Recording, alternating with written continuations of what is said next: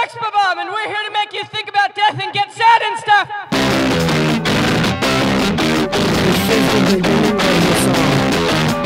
I hear hearing voices